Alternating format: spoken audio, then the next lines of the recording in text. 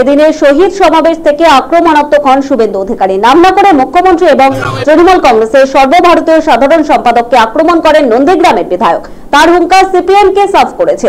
দু সালের নন্দীগ্রাম দিবসের আগে পিসি ভাইপোকে গ্যারেজ করে দেবে। তবে নন্দীগ্রামের আন্দোলন কোন নির্দিষ্ট নেতা নেত্রীর আন্দোলন ছিল না। এই আন্দোলন ছিল জনগণের। তৃণমূল এই এলাকার শহীদ দিবস দখল করার চেষ্টা করেছিল।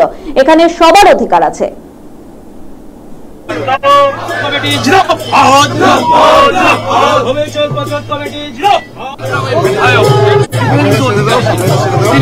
এই মুহূর্তে একশো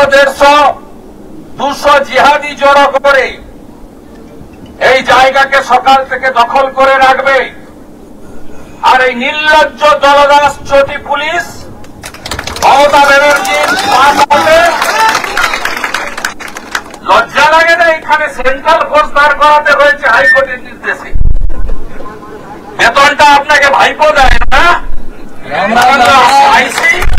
অমরনাথ বেতনটা মমতা ব্যানার্জি পাঠায়। আমার আপনার ট্যাক্সের টাকায় বেতন পান আপনি। এখানে অধিকার সবার আছে। সব রাজনৈতিক দলের আছে। সব মানুষের আছে। যাবে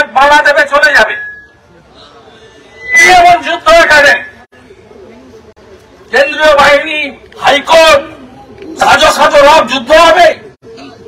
মানুষ খেতে পায় না, চাকরি পায় না। এই গ্রামের একশো ছেলে মমতা ব্যানার্জির জন্য কর্ণাটকে গুজরাটে গিয়ে না খেয়ে ফ্লাইওভারের নিচে রাত কাটায় পরিযায়ী শ্রমিক। এই পশ্চিমবঙ্গের এই গণতন্ত্র ধ্বংস।